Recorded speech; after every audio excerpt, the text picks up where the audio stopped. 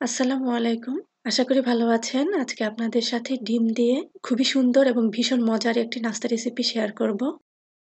এই রেসিপিটি তৈরি করতে প্রথমেই একটি বাটিতে ডিমের কুসুম আর সাদা অংশ আলাদা করে নিচ্ছি। আমি এখানে চারটি ডিম ব্যবহার করেছি। আপনি চাইলে তিনটি দিয়েও এই রেসিপিটি তৈরি করতে পারেন। ডিমের কুসুম আর সাদা অংশ আলাদা করা হয়ে গিয়েছে। এবার সাদা অংশটার সাথে স্বাদ মতো একটু লবণ দিয়ে দিচ্ছি। তার সাথে দিয়ে দিচ্ছি এক চা চামচ পরিমাণ ধনে পাতা কুচি, এক চা চামচ পরিমাণ গাজর কুচি, একটা কাঁচা মরিচ কুচি, এক চা চামচ পরিমাণ পেঁয়াজ পাতা কুচি। সবগুলো উপকরণ একত্রে হ্যান্ডউইক্সের সাহায্যে মিশিয়ে নিতে হবে।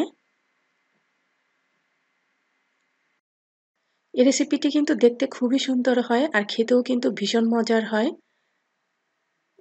এবার ডিমের কুসুমটা নিয়ে নিলাম। কুসুমের সাথে স্বাদ মতো একটু লবণ দিয়ে দিয়েছি।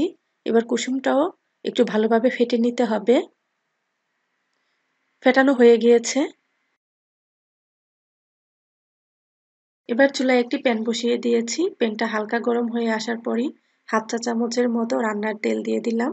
এবার একটা টিস্যু দিয়ে এর যে বাড়তি তেলটা আছে সেটা মুছে নিচ্ছি। এ সময় কিন্তু চুলার আঁচটা একদম লোতে রাখতে হবে। তারপর ডিমের সাদা অংশের যে মিশ্রণটা তৈরি করেছি, সেটা এর মধ্যে দিয়ে প্যানের মধ্যে ছড়িয়ে দিচ্ছি। ছড়ানো হয়ে গেলে এটা শক্ত হয়ে আসার জন্য অপেক্ষা করছি, শক্ত হয়ে গিয়েছে। এবার একটা স্পেচুলা দিয়ে এর দুই সাইড ভাঁজ করে দিচ্ছি। তারপর পাটিসাপটার মতো করে পুরোটা হোল্ড করে দিচ্ছি।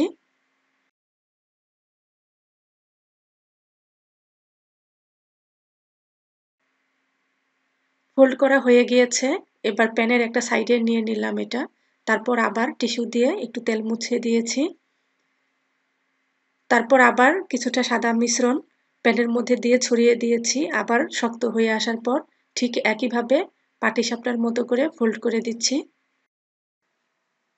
আমি ডিমের সাদা অংশটা তিন ধাপে দিয়েছি। এবার লাস্ট যেটুকু ছিল সেটুকু দিয়ে একইভাবে প্যানের মধ্যে ছড়িয়ে দিচ্ছি। আবার ঠিক আগের মতো শক্ত হয়ে আসার পর দুই সাইড ভাজ করে তারপর পাটিসাপটার মতো ফোল্ড করে দিচ্ছি। আমার বিশ্বাস আমার আজকের রেসিপিটি আপনাদের ভালো লাগবে। ভালো লাগলে একটা লাইক দিয়ে চ্যানেলটি সাবস্ক্রাইব করবেন। আদা অংশটা ফোল্ড করা হয়ে গিয়েছে। এবার ফেটানো কুসুমটা এর মধ্যে দিয়ে দিচ্ছি। ফেটানো কুসুমটা কিন্তু একবারই দিয়েছি, দিয়ে প্যানে ভালোভাবে ছড়িয়ে দিয়েছি।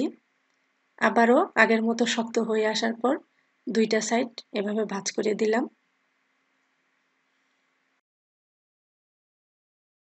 ভাজ করে দেওয়ার পর আবার পুরোটা ফোল্ড করে দিচ্ছি। তাহলে তৈরি হয়ে গেল খুবই মজার এবং দেখতে খুবই সুন্দর ডিম দিয়ে সকাল বিকালের একটি নাস্তা রেসিপি আমার বিশ্বাস ছোট থেকে বড় সবাই এটা খুব পছন্দ করবে। আমার চ্যানেলে এরকম আরও নতুন নতুন, অনেক সুন্দর সুন্দর নাস্তা রেসিপির ভিডিও দেওয়া আছে। সময় পেলে দেখে নেবেন। আশা করি ওই রেসিপিগুলোও আপনাদের ভালো লাগবে। ভিডিওটি ভালো লাগলে লাইক দিবেন শেয়ার করবেন আর অবশ্যই চ্যানেলটি সাবস্ক্রাইব করে নেবেন প্লিজ।